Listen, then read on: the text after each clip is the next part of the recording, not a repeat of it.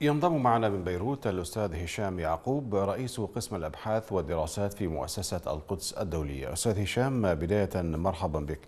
مقتل جنديين صهيونيين وإصابة ثالث بحالة موت سريري وكذلك إصابة رابع بجروح خطيرة بعملية جديدة في سلواد إضافة لدهس جندي في البيرة برام الله. كيف تقرأ كل هذه العمليات المستمرة للمقاومة الفلسطينية؟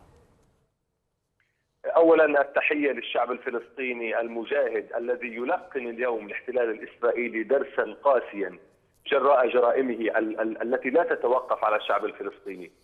آه هذه التطورات هي رسائل واضحة من الشعب الفلسطيني وتحديدا من ضفة الشهداء، الضفة التي راهنوا عليها أن يدجن شبابها وأن تدخل في دوامة ما يسمى العملية السلمية وأن تخرج اجيالا من آه الذين تعودوا على مشاهد التنسيق الأمني ومشاهد الخنوع وما إلى ذلك. الضفة اليوم تقول كلمتها تقول الوضع الطبيعي مع الاحتلال الإسرائيلي هو الاشتباك المباشر والالتحام المباشر مع العدو الصهيوني. هذه الضفة اليوم تقول الكلمة نحن إلى جانب غزة نحن إلى جانب القدس نحن إلى جانب الشعب الفلسطيني في إطار هذه المعركة. ولا يمكن أن يتم اختزال المعركة مع, مع, مع غزة وحدها ولا يمكن أن يتم الاستفراد بغزة وحدها ولا يمكن السماح للاحتلال الإسرائيلي بأن يعربد في القدس وفي الضفة الغربية وأن يقتل الأبرياء في من أبطال مسيرات العودة في في غزة من دون اي اي اي أي عقوبة. هذه العمليات نعم هذه العمليات الفلسطينية إلى أي مدى يعني تبين ربما أو توضح اليأس الفلسطيني من العالم ومن المجتمع الدولي؟ صحيح هذه العمليات هي رسالة لكل العالم بانه هذا الاحتلال الإسرائيلي لم يبقي أي فرصة للشعب الفلسطيني بحياه كريمة، هذا الاحتلال الإسرائيلي لا يقبل ولا يمكن أن يستوعب أن يكون هناك بشر غير المستوطنين على هذه الأرض، الأرض التي سرقها. هذه العمليات هي رسالة لموجة التطبيع الذي هذه الموجة التي تريد أن تستكمل سرقة الأرض وتريد أن تغطي على جرائم الاحتلال الإسرائيلي. وهي رسالة إلى ترامب وإدارة ترامب. وكل من يسير في ركب صفقة القرن بأنه لا مجال لتصفية القضية الفلسطينية ولا مجال للمقامرة وتضييع الحق الفلسطيني ورسالة أيضا للاحتلال الإسرائيلي بأنه لا إمكانية بأن يكون هناك احتلال على أرض فلسطين، فلسطين هذه لا تقبل الاحتلال، لا تقبل الاغتصاب، لا تقبل الغزاة. في هذا الإطار الاحتلال تمكن من اغتيال ثلاثة شبان فلسطينيين، اثنان منهم سبق وان نفذا عمليات مسلحة ضد المستوطنين الصهاينة في مستوطنة البركان. بعد هذه الحادثة ما الذي يبرر استمرار الاتفاقية الأمنية مع الاحتلال؟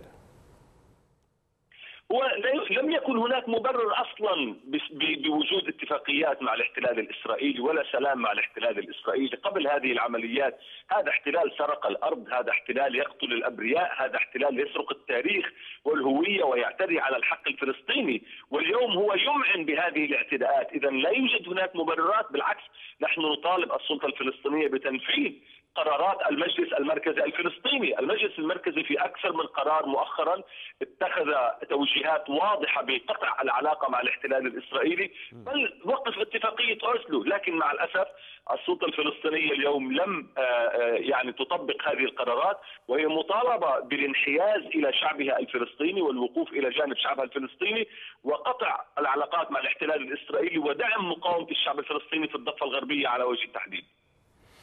الآن الحديث عن صفقة القرن يعني أين أصبح هذا الحديث؟ هل أصبح واقعا برأيك؟ اعتقد انه هذه العمليات ومسيرات العودة في في غزة والتفاعل المستمر في في القدس وفي المناطق الفلسطينية المختلفة ضد الاحتلال الإسرائيلي. قالت كلمتها أن صفقة القرن وقرارات ترامب المجحفه بحق الشعب الفلسطيني ليست قدرا محتوم التنفيذ على شعبنا الفلسطيني، لا يمكن لأحد أن ينفذ قرارات جائرة على شعبنا الفلسطيني، ولذلك أنا أقول يجب أن نمتلك الثقة ونقول هذه الصفقة اليوم تتعرقل. هذه الصفقة اليوم لا تسير بالشكل الذي خطط له.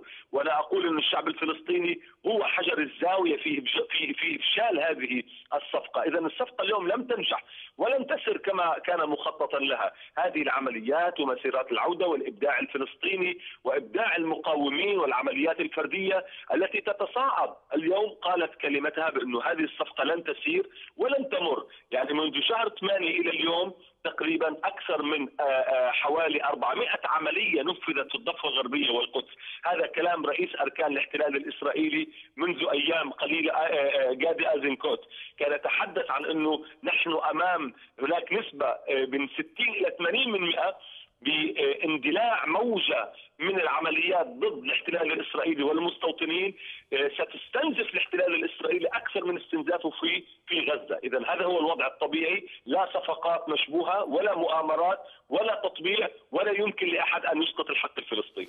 تحول المشهد الفلسطيني بهذا الشكل إلى أي مدى ترى أنه ينبئ بثورة غضب جديدة تكرر نفسها مرة أخرى؟ إلى أي مدى ترى أن الأجواء مهيئة فعلا لغضب فلسطيني جديد؟ الحقيقة الشعب الفلسطيني كرس سنة تاريخية نضالية كل مدة ربما هذه المدة تكون سنة سنتين أو ثلاث سنوات أو عشر سنوات ربما هذا الشعب الفلسطيني يثور ويستجمع قواه ضد الاحتلال الإسرائيلي، هذا الاحتلال الإسرائيلي في كل هبة أو انتفاضة الحقيقة يقوض إمكانيات وقدرات الشعب الفلسطيني، لكن هذا الشعب الفلسطيني لا يركن سرعان ما يستجمع قواه وتنطلق الهبة، فلنتذكر أنه الهبة الأخيرة التي انطلقت عام 2015 والتي قبلها عام 2014 وانتفاضة الأقصى عام 2000 وغير ذلك من الهبات والانتفاضات في كل محطة من محطات النضال الفلسطيني. الشعب الفلسطيني يجدد أدواته ووسائله ويلف على الاحتلال الإسرائيلي ويخرج الاحتلال الإسرائيلي بوسائل وإمكانيات وطرق بديعة. مسيرات العودة لم تكن في الحسبان. هذه العمليات الفردية الدعس والطعن وما إلى ذلك من عمليات اليوم لم تكن في قاموس الشعب الفلسطيني بهذه الصورة الجلية نشكرك شكرا جزيلا من بيروت الأستاذ هشام يعقوب رئيس قسم الأبحاث والدراسات في مؤسسة القدس الدولية.